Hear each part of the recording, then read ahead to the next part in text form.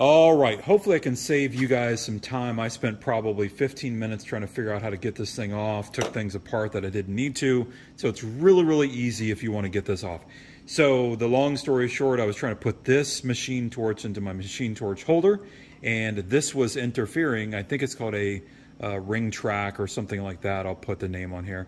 Uh, but this was interfering with where I wanted to position the torch in the holder. So it's really simple. Um, resist the urge to take all this apart. There's some screws down here. I uh, had all that off. You don't need to do that. So all you need to do is first unscrew this little um, cable retainer, if you will, strain relief. Get that off there, and then hold this part firm and just loosen this. Go all the way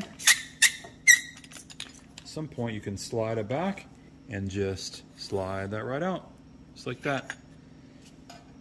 That's what it looks like. You can see there's a little uh, slotted track in there and then screw it back.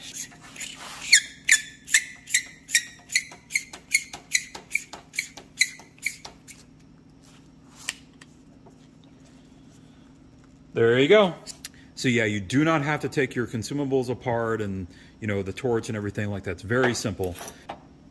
So this obviously would be specific to this torch. This is a uh, Duramax torch. Um, and I don't, it's 60974-7 maybe. So this obviously would be specific to this torch. Some of them have, I think, a little set screws here that you can loosen up. But this one obviously does not. All right, thanks for watching.